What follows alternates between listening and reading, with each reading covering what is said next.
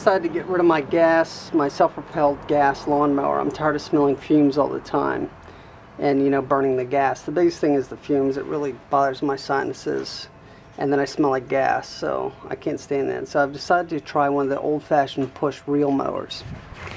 Now this is my old um, Craftsman lawnmower. It's not a bad old mower. Actually, it's a good mower. It's just that, you know, I get tired of the gas fumes. Now, I decided to go with the reel mower, and the first one I bought was a Husqvarna model. Now, that company is known to produce quality products, and it has a four-year warranty, so it has a good warranty by a good company. But the thing I don't like is that this cog here to raise and lower the, uh, excuse the mess, the back wheels here so you can do the height adjustment is plastic. And uh, although it does have a four-year warranty, I don't like that it's plastic because I can anticipate that breaking. Say I move the mower in the wintertime when it's brittle because it's cold out or you know as you use this in the sun this plastic might start to deteriorate. So I decided to get the Fiskars model so I'm going to use that and I'm going to take this old one back. So I will be doing a review on the Fiskars once I start using it. Okay, I've decided to unbox this guy and put it together. Um, one thing I see I like already, that's it. This this one has a blade guard on here. The other, the Husqvarna didn't have that. And you know what? These blades are they're huge. Okay, and they're sharp, and they spin like this. So it would be real easy as you're trying to pull this out of the box to get your fingers caught in these blades and maybe get a bad cut on one. I can tell you that this device, this Fiskars device, is probably four, three or four times heavier than the Husqvarna. So uh, again, uh, we'll see how it works. I can tell you that adjusting the blades on the Husqvarna is a lot easier than this. Um, this looks like your blade adjusts. It's the only thing I see, so I'm assuming that's it. Um, on the Husqvarna, there's a little Allen screw with a spring on it, and, and they give you the Allen wrench to do it, and it's really simple to adjust. So I think blade adjustment on this uh, um, Fiskars is not going to be as easy as it was on the uh, Husqvarna. So I give a point to the Husqvarna on blade adjustment, but of course a point to the Fiskars on the height adjustment. Also, I give points to the Husqvarna on uh, the fasteners that hold the uh, handle together.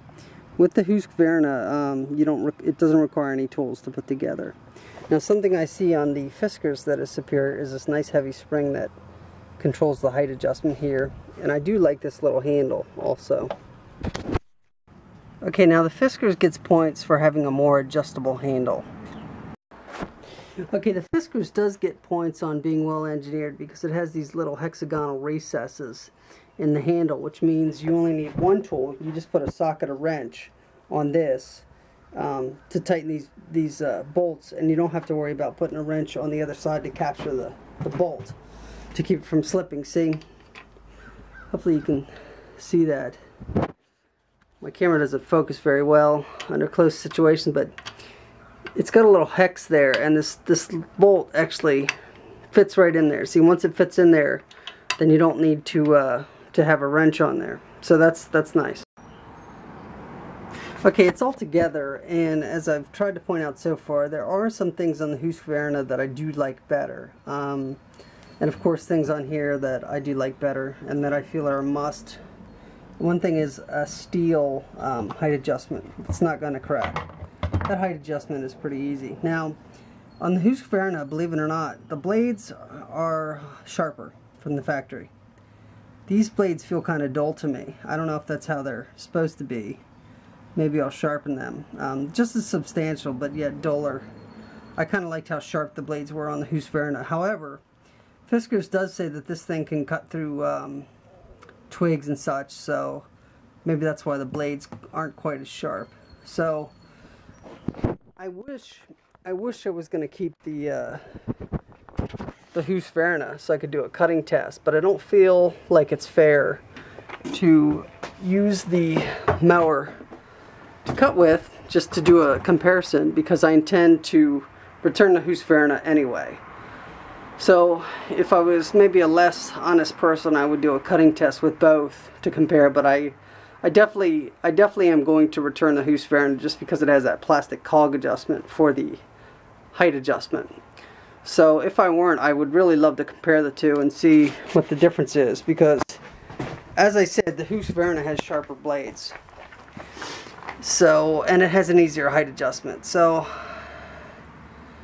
I kind of like them both um, so far. I don't know which one cuts better, as I said. I like this one because it's more steel. Now, this one is a lot heavier and more substantial. So, um, I really like the height adjustment on this one, and I don't, I don't want any plastic parts, whether I'm paying $200 or $150. Now, the the Husqvarna is um, is $50 cheaper, um, but still, I'd really rather have steel parts. But Oh well, um, it's supposed to rain for the next week, so even if I wanted to do a comparison of the two and see which one cuts better, I'd have to wait a week to do that. So that other one's money on my card, and I don't want the extra expense and pay the finance fees on it, so I'm going to return it this week, and uh, we'll see how the Fiskars works hopefully next weekend.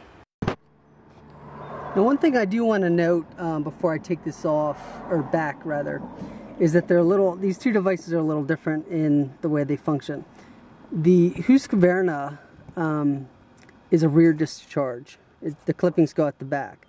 Now it has this really cool um, catcher bag here which would help me um, when I want to put greenery into my compost bin. So I kind of like that.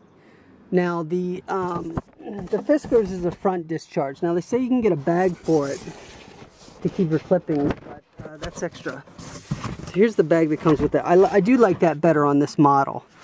And as I said, if I had more time and I maybe was a little less ethical, I'd, I'd try them both out and then I'd just return the one that I didn't like.